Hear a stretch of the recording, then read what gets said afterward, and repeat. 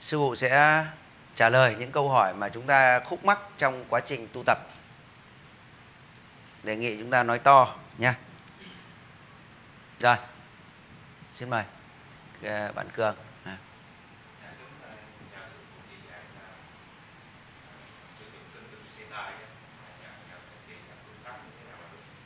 Kinh luân rồi. Rồi em ngồi xuống. À, khi dùng ờ, kinh luân thì ờ, cái xoay tay thì hôm nay ở đây để sư phụ lại hết mất rồi. Chứ không là sư phụ sẽ sẽ làm luôn. Thì kinh luân nó cũng giống như cái chuông ờ, chuông chày mà thôi. Thí dụ đây là chuông chày. Chuông chày kim cang dùng để triệu thỉnh các chư vị bổn tôn. Kinh luân để làm gì? Kinh luân là có cái cán à, thí dụ như là cái cán nó ngược lên như này thì ở đây nó sẽ có một cái à, ở trong kinh luân. Các đệ nên nhớ là trong kinh luân nó sẽ có khoảng 10.000 bài thần chú trở lên. Có những kinh luân nó hàng triệu bài thần chú nằm trong cái kinh luân cuộn tròn. Nó gọi là kinh cuộn đấy. Tại sao gọi là kinh cuộn? Là chính là nó nằm trong kinh luân. Thì thí dụ như là sư phụ để ngửa này cái chuông chày lên thì để sư phụ tả tức là cái cái cái vòng tròn của cái kinh luân đấy và nó sẽ có một sợi dây và có một con lắc. Cho nên là các các vị ngày xưa ấy mà luyện kinh luân đó, là sư phụ sẽ nói hai giải thích hai việc nhé.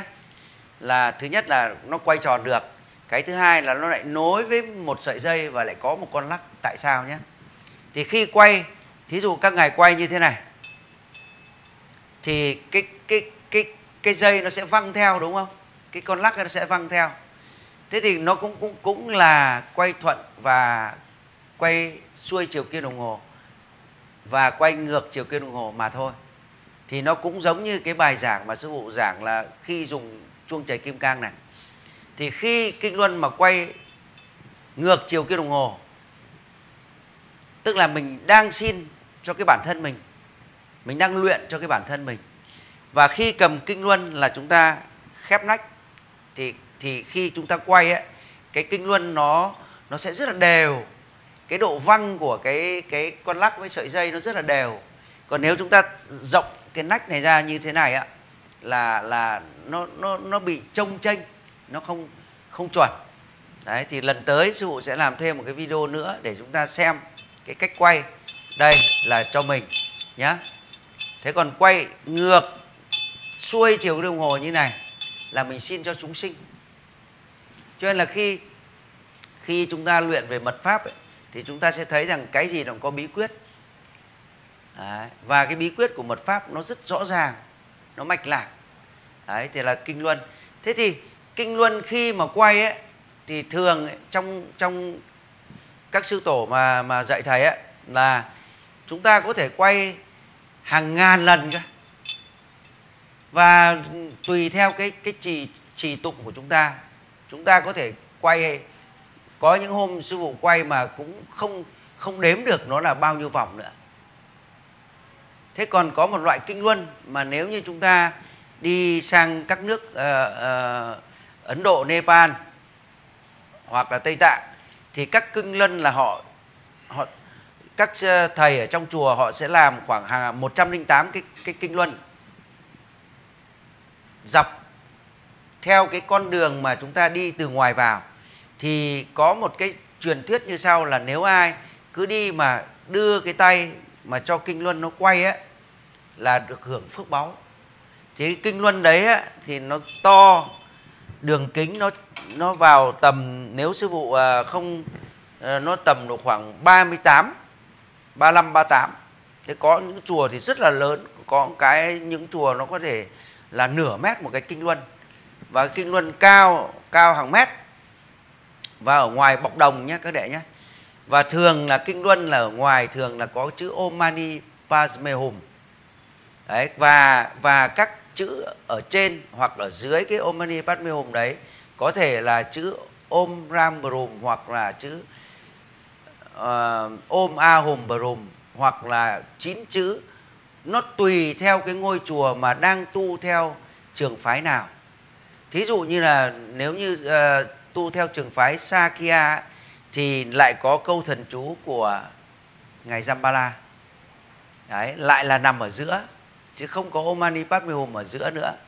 Mà ở dưới hoặc ở trên mới là Om Padme Hum tức là cái kinh luân đó là anh tu pháp môn gì? Thì cái chữ ở cái kinh luân của tại cái chùa đó là họ thể hiện rằng là tôi đang tu theo pháp môn này. Cho nên nó mới có câu thần chú nằm ở giữa của cái kinh luân đó. Và thường kinh luân sư phụ nhắc lại là thường là các chùa thường là làm 108 kinh luân. Đó. Còn tại sao gọi là kinh luân ấy, thì kinh là kinh cuộn nó cuộn ở trong như sư phụ nói rồi. Còn luân ấy là nó cứ xoay chuyển cho nó quay tròn được. Cho nên là mới mới mới gọi là kinh luân mà. Lúc nào nó cũng quay tròn được. Nếu ta tác động lực vào. Đấy thì là định nghĩa cái kinh luân để chúng ta biết.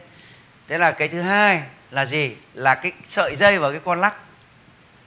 Đúng không? Thứ nhất là khi quay cái kinh luân thì cái sợi dây nó quay này là nó cũng tạo một cái động lực, một cái lực lực hút nào đó lên không trung, lên vũ trụ để mà các vị biết. Nhưng có người, các thầy thì lại dùng cái kinh luân đặt nằm ngang. Đấy. tiếc quá không có kinh luân đây. Đang đang dùng này thì đặt nằm ngang. Thì có phải sợi dây với con lắc nó nằm này không? Thì chính các ngài là lại lại lại dùng cảm xạ năng lượng cảm xạ học để mà xem việc nọ việc kia đấy. Và nói luôn cho cái cái cái cái cái gia chủ đấy là đang bị làm sao. Nhưng mà mình đâu có biết đúng không? Chỉ có chúng ta luyện người ngoài không thể biết được. Thì cái kinh luân là dùng hay như vậy. Thì sư phụ cũng có những cái kinh luân đấy và thường thường xuyên dùng. Rất là tốt. À, khi chúng ta quay là chúng ta niệm. Bởi vì cái kinh luân nó quay rất êm nó không có tiếng động nữa. Và lúc ý thì chúng ta sẽ tụng niệm theo kiểu, các đệ nên nhớ rằng tụng niệm nó có mấy, ba loại tụng niệm nhé. Một là tụng niệm có tiếng, có câu thần chú phát ra để gì? Lúc đó là để khi mà mà sư phụ ấy mà cho tất cả các đệ tử để lắng nghe là đang làm gì, đang đọc đến kinh nào thì mới phát ra thôi còn tụng niệm thứ hai ấy là cái tụng niệm là đơn giản hơn có nghĩa là lầm nhầm ở trong miệng và không phát ra tiếng. Nhưng có một cái tụng niệm cao cấp nhất mà hôm nay các đệ sẽ được học đó là gì? Tụng niệm hoa sen có nghĩa là cong lưỡi trên hàm ếch trên và tụng ở trong não và phóng ra qua luân xa bảy.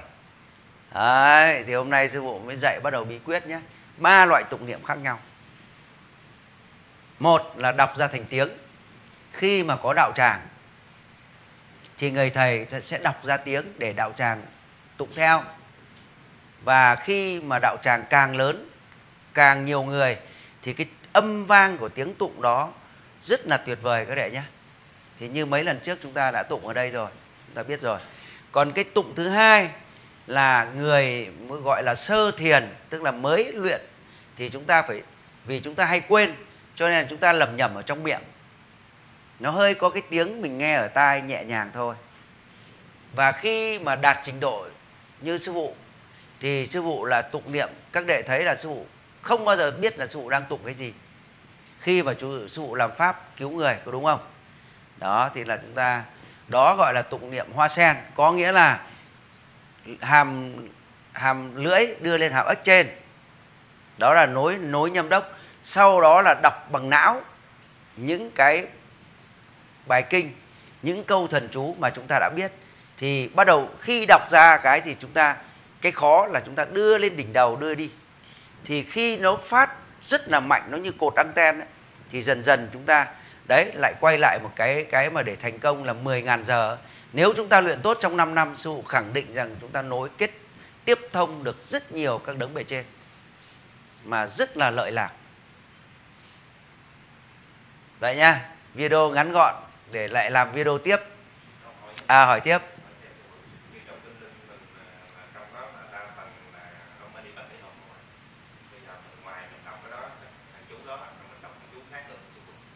À được rồi, sư phụ nhắc lại vì đây nó có micro tức là bạn cường có hỏi là cái kinh luân ở trong nó chỉ có Om Mani Padme Hum thôi.